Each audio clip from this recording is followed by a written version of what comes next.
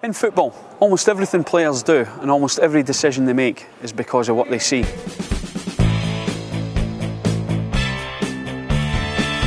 Over 90% of decisions in team sports are based on visual triggers.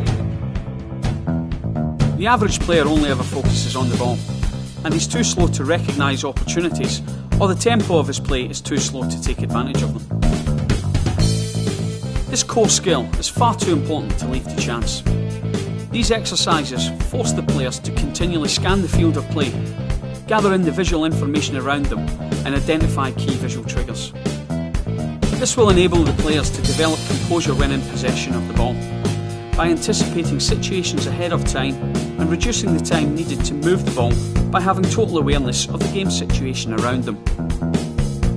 By continually scanning the field of play, the players will have greater awareness on and off the ball they will see the game more clearly, anticipate the play, and make better decisions and do the right thing at the right time. By training the players this way, they will see more, think quicker, and play better.